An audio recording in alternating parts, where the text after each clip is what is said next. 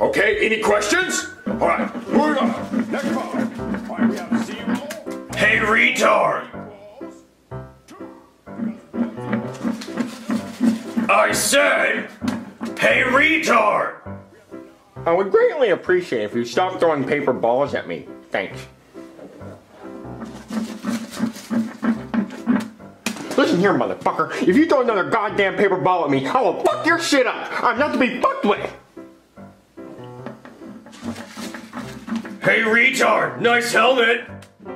Wanna die today, motherfucker? Whoa, calm down, retard. I think you got your helmet on too tight. Oh, you know what? I think it is. You wanna fix it for me?